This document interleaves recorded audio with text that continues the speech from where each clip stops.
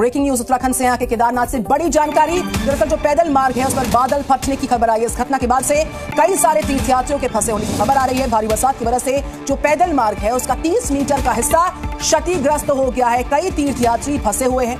पैदल मार्ग जो केदारनाथ तक जाता है, उसका एक पूरा पैच है, जिसमें कि बताया जा रहा है जानकारी के मुताबिक कि 30 मीटर का जो हिस्सा है इस मार्ग का, वो क्षतिग्रस्त हो गया है।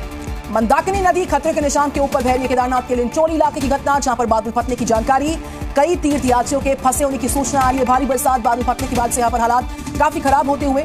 तो पैदल मार्ग जो है केदारनाथ जाने का, उसमें तीस मीटर के हिस्से पर यहाँ पर हालत खराब हो गई इस पूरे रूट की ये क्षतिग्रस्त हो गया इस बीच जो सोनप्रयाग नदी है, उसमें भी अचानक जल स्तर बढ़ जाने की जानकारी सामने आ रही है।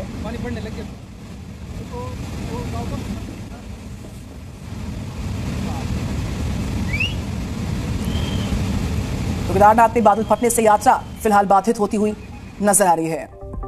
और दिल्ली की बात कर रहे हैं एक बार फिर से बरसात के पानी में डूबी डूबी नज़र आ रही हालात ऐसे हो गए हैं कि बीते शाम को शुरू हुई बरसात देर रात तक चलती रही, मूसलाधार होती रही। लोग मंजिल तक पहुँचने के लिए जूझते हुए नज़र आए हैं सड़कों पर।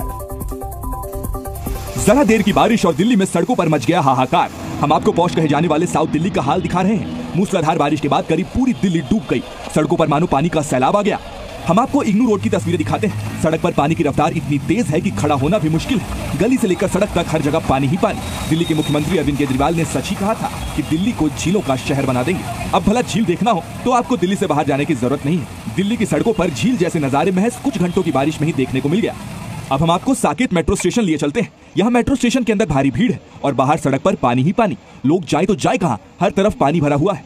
ग्रीन पार्क का नज़ारा भी बाकी दिल्ली के हाल जैसा ही था। पूरी सड़क पानी से लबालब भरी हुई है। लोग फंसे हुए हैं। बारिश ने पौष कहे जाने वाले इस इलाके की पोल खोल कर रख दी। एम्स फ्लाईओवर के नीचे भी बारिश से बुरा हाल है। पानी लबालब भरा हुआ है। हर बारिश में दिल्ली का नज़ारा कुछ ऐसा ही दिखता है।